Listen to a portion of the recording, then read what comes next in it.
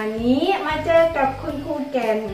แต่เอ๊ะทายซิว่าคุณครูจะพาเด็กๆมาทำอะไรวาดรูปไหม ไม่ใช่ สัปดาห์นี้เด็กๆก็ได้เรียนกันไปหลากหลายแล้วใช่ไหมคะ วันนี้คุณครูจะพาเด็กๆมาทำกิจกรรมสนุกๆคุณครูจะพาเด็กๆมาเล่นเกมทายปัญหากัน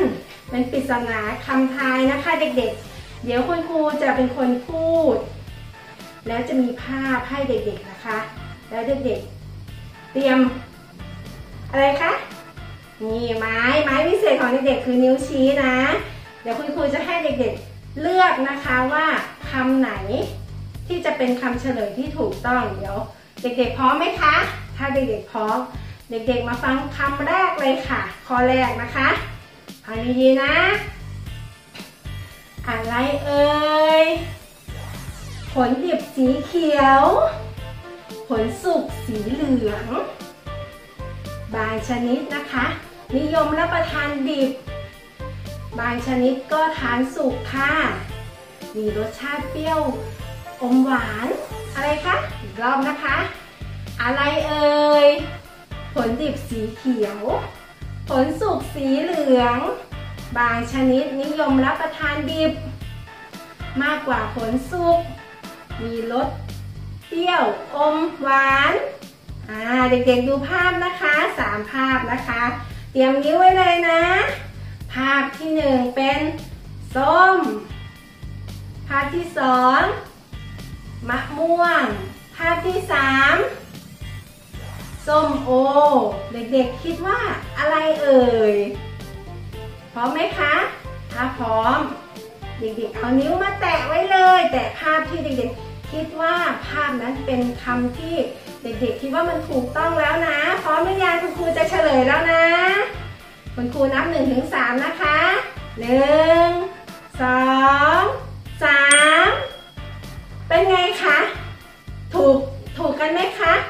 คำเฉลยคืออะไรคะเด็กๆมะม่วงนั่นเองค่ะ เก่งมากเลยค่ะ ต่อไปนะคะต่อไปค่ะคำที่สองนะคะ เด็กๆฟังดีๆนะ อะไรเอ่ย มีขนรอบหัว อ่า มีเขี้ยว มีเล็บแหลมคม ใครๆชื่นชม ฉันเป็นเจ้าป่า อะไรคะ อีกรอบนะ อะไรเอ่ย มีขนรอบหัว เขี้ยวเล็บแหลมคม ใครๆชื่นชม ฉันเป็นเจ้าป่าถ้าเป็นเจ้าป่าไม่รู้ว่าเป็นอะไร เป็นสัตว์อะไรนะคะ เด็กๆดูภาพนะ ภาพแรก เป็นแมวค่ะ ใช่ไหม ภาพที่สอง เป็นเสือค่ะ ภาพที่สามสิงโต ภาพอะไรคะ ติ๊กตอกติ๊กตอกติ๊กตอกคิดได้หรือยังเอ่ย ถ้าเด็กๆคิดได้แล้ว เด็กๆ ใช้นิ้ววิเศษเลยค่ะ มาแตะที่หน้า แตะที่รูปเลยนะคะ พร้อมไหมคุณครูจะเฉลยแล้วนะคะ คุณครูนับ1นถึงสจะเฉลยแล้วนะคะ 1 2 3 เป็นไงคะ เด็กๆเก่งมากเลยตอบถูกกันเกือบหมดเลย คือสิงโตนั่นเองค่ะ สนุกใช่ไหมคะ ต่อไปต่อไปค่ะยังไม่จบค่ะ คำถามปริศนาคำทายที่ 3 นะคะ ฟังดีๆนะคะ อะไรเอ่ย เลี้ยงไว้ในเล้าขันปลุกทุกเช้า เสียงดังเอกเอกเอกเอาใหม่นะ อะไรเอ่ย เลี้ยงไว้ในเล้าขันปลุกทุกเช้า เสียงดังเอกเอกเอกเอกเอกเอะไรคะร้องเอกเอกเอคุณครูเชื่อว่าเด็กๆคิดได้แล้วสิว่าคือสัตว์อะไรเด็กๆดูนะภาพแรก ไก่ค่ะ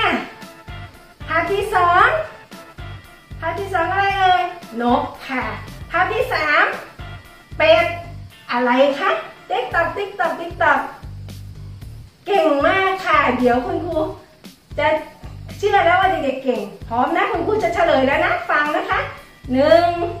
สองสามเก่งมากค่ะเด็กๆเด็กๆตอบได้ทุกคนเลยคือไก่นั่นเอง ต่อไปนะคะต่อไปค่ะคำที่สี่ค่ะคำที่สี่เราเปลี่ยนแล้วเราไม่เป็นสัตว์ละ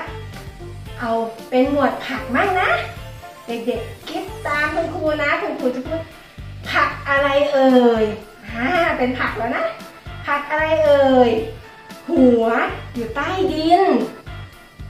มีกลิ่นฉุนแรง ต้นขาวละมุน ขายหัวแครอท อีกรอบนะ ผักอะไรเอ่ย หัวอยู่ใต้ดิน มีกลิ่นฉุนแรง ต้นขาวละมุน หัวคล้ายแครอทผักอะไรนะติ๊กตอกติ๊กตอกพร้อมหรือยังคะถ้าเด็กๆพร้อม เตรียมนิ้ววิเศษไว้เลยภาพแรกผักกาดขาวค่ะ ใช่ไหม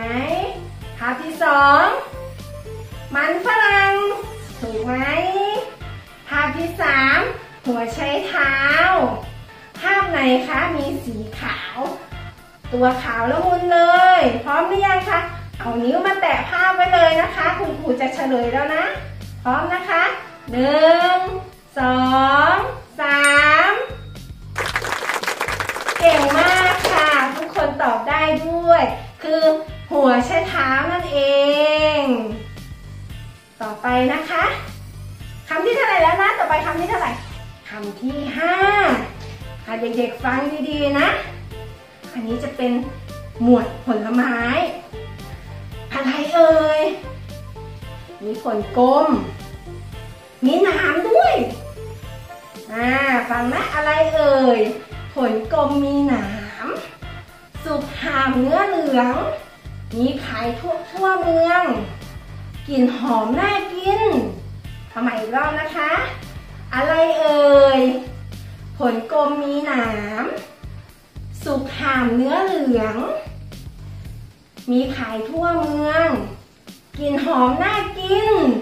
อะไรนะ เด็กๆชอบแน่นอนเลยผลไม้ชนิดนี้ พร้อมหรือยังถ้าพร้อมแล้วเด็กๆชูนิ้วขึ้นมาเตรียมเตรียมเตรียมเลือกเลยนะคะ ว่าเด็กๆจะคิดว่าเป็นผลไม้ชนิดไหน ภาพแรกคือเงาะ ภาพที่สองทุเรียน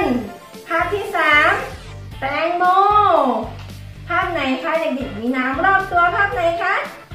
พร้อมหรือยังถ้าพร้อมครูแก่นจะเฉลยแล้วนะคะหนึ่งสองสามเก่งมากค่ะเด็กๆตอบได้อีกแล้วเด็กๆข้อนี้เก่งมากเลย เอาละค่ะ สนุกใช่ไหมล่ะ อยากเล่นอีกใช่ไหมเอาไว้รอบหน้าคุณครูจะพาเด็กๆมาเล่นอีกนะ